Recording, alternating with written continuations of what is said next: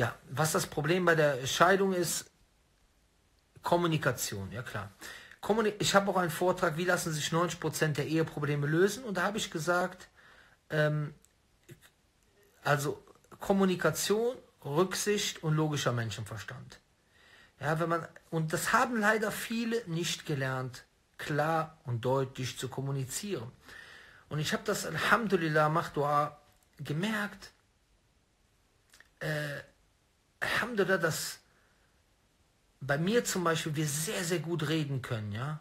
Also sehr, sehr gut kommunizieren können, ja, äh, ohne irgendwelche Hemmungen zu haben. Aber die Frauen haben auch oft Hemmungen zu kommunizieren, wenn sie das Gefühl haben, ähm, dass äh, der Mann das sofort als persönlichen Angriff sieht, ja.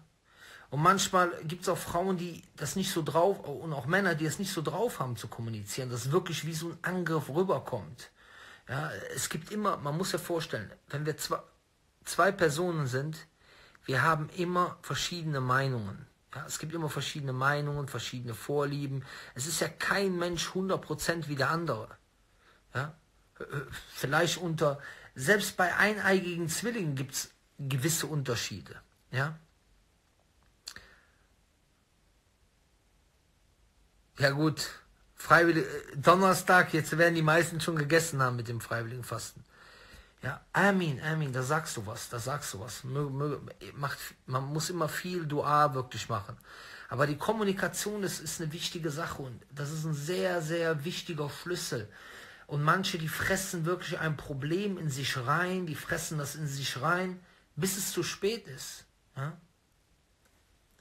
Keine Ahnung, wo der sich befindet. Was soll man machen, wenn man versucht, was zu klären, aber der Partner immer lügt? Ja, guck mal, Schwester, da sagst du gerade was. Es ist eine Katastrophe. Guck mal, ich, bei mir, als ich geheiratet habe, okay, ich gebe das als persönliches Beispiel, ist auch etwas interessanter eigentlich, dann auch vielleicht für euch. Für mich gab es bestimmte Ansprüche, die ich an die Religion hatte.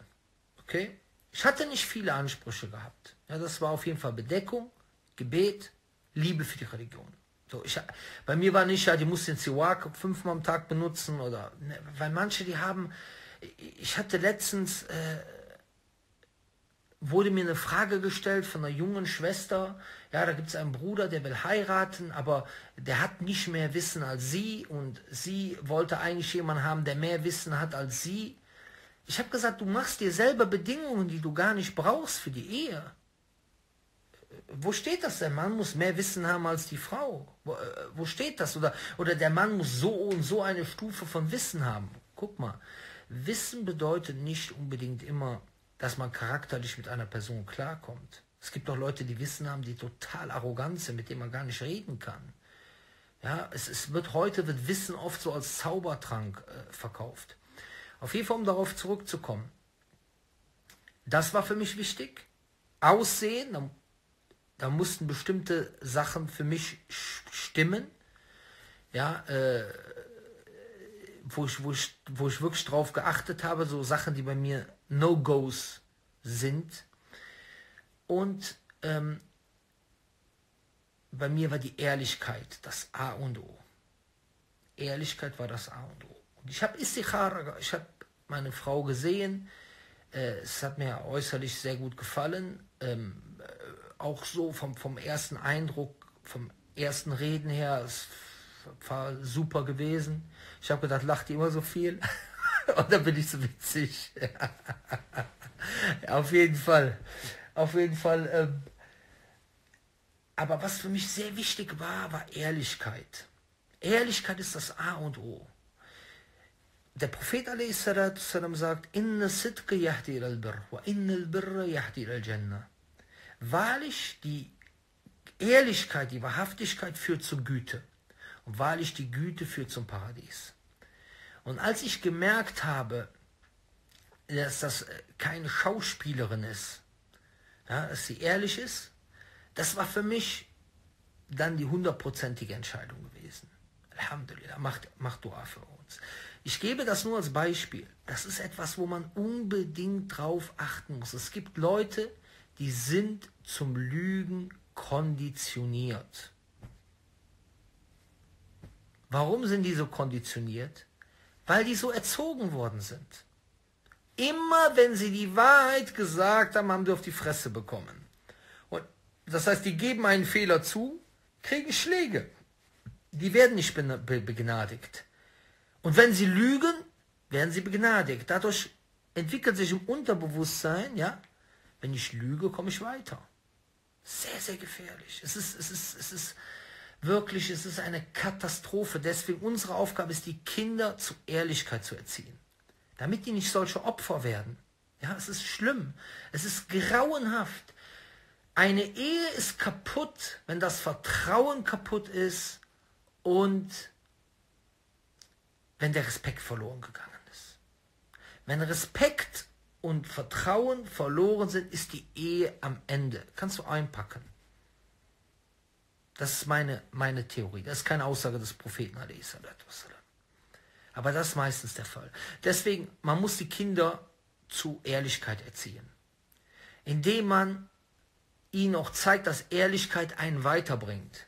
Wenn das Kind zu einem kommt und sagt, ich habe das und das gemacht, dann muss man da auf eine angemessene Art reagieren.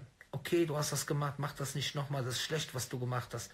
Aber wenn man merkt, der hat gelogen, dann muss er merken, dass das viel schlimmer ist zu lügen. Ja? Viel schlimmer ist zu lügen. Dass man sagt, stell dir mal vor, ich würde dich anlügen und du weißt noch nicht mal mehr, ob ich dir die Wahrheit sage, ich bin dein Vater. Stell dir das mal vor. Du hast hier gelogen, stell mal vor, ich lüge dich an. Wir sind eine Familie, wir müssen gegenseitig ans Glauben. Stell dir mal vor, ich würde dir etwas erzählen, du sagst es deinem Sohn, seiner Tochter, und du weißt gar nicht, ob das stimmt. Wie schlimm das ist wenn man ihnen klar macht, wie schlimm es ist zu lügen, weil so eine Person wird dann so konditioniert. Aber wenn eine Person anders aufwächst, sie ist zum Lügen konditioniert. Sie ist zum Lügen konditioniert. Sie hat das im Kopf, Lügen. Sobald Druck kommt, ja, weil er immer so damit zurechtgekommen ist, fängt er an zu lügen. Selbst wenn es gar keinen Grund gibt zum Lügen. Glaubt es mir, ich habe es bei Freunden von mir sogar live miterlebt. Leute, die die Lüge hassen. Aber in dem Moment, wo Druck kommt, erzählt er sofort irgendeine Geschichte. Weil das zu seiner Natur geworden ist. Guck mal. Chuluk, Benehmen. Welche Wortwurzel hat das? Cha, Lam, Qaf. Im Arabischen. Das ist dieselbe Wortwurzel Chuluk, also das Benehmen, auch Mehrzahl davon Achlak, das sind eigentlich Benehmen, also mehrere Benehmen sein, ja, ist von der Wortwurzel Chalalem Qaf. Davon kommt auch Chalik, der Schöpfer, davon kommt Chalk, die Schöpfung. Chalk, die Schöpfung und Chuluk, das Benehmen, sind miteinander verwandt. Warum? Weil Chuluk ist das innere Bild des Menschen und Chalk Schöpfung ist das äußere Bild des Menschen. Das äußere Bild des Menschen ist zu einer gewissen Seite, zu einer gewissen Maß angeboren und zu einem gewissen Maß anerzogen. Das heißt, je nachdem, wie du dich ernährst, je nachdem, wie du trainierst, je nachdem, was du körperlich machst, entwickelt sich dein Körper, aber du kannst es nicht 100% steuern, du kannst es aber steuern. Keiner muss ein Lüger sein, es kann aber sein, dass du eine Veranlagung dazu hast. Okay?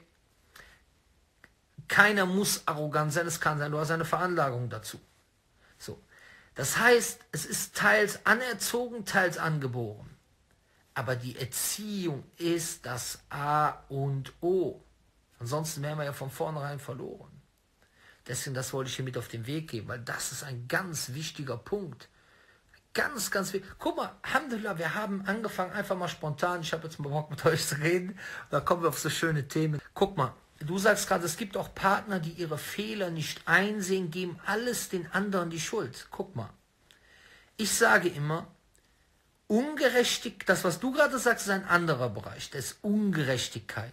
Jemand ist ungerecht. Der ist selber schuld, aber der ist ungerecht. Der gibt dem anderen die Schuld. Ungerechtigkeit und Unehrlichkeit sind zwei Partner, die sich meistens nicht voneinander trennen denn der Ungerechte belügt sich meistens zuerst selber. So ist das. Der Ungerechte der ungerecht ist, ist meistens auch unehrlich zu sich selber. Er belügt sich selber. Und deswegen ist es ganz super, wenn man jemanden findet, wenn man beibringt, Fehler zugeben zu können. Boah, Leute, das brauchen wir. Guck mal, was der Prophet salam uns beigebracht hat. Einmal bei der Schlacht von Badr hat er die Muslime in den Reihen gerade gestellt. Und dann kam er mit einem Pfeil und hat er einem Sahabi wehgetan. Da hat der Prophet seinen Bauch freigemacht und hat gesagt, revanchiere dich bei mir. Was hat er damit beigebracht? Er hat damit beigebracht, es geht nicht um Hierarchie. Es geht in erster Linie um Gerechtigkeit. Ich habe dir wehgetan, egal wer ich bin. Ob ich dein Vater bin, deine Mutter bin, dein Vorgesetzter bin, dein Chef bin, ich bin dein Prophet. Aber trotzdem muss Gerechtigkeit walten. Und der Sahabi, der hatte jetzt das Recht, ihn mit dem Pfeil auch weh zu tun. Und da hat er seinen Bauch geküsst.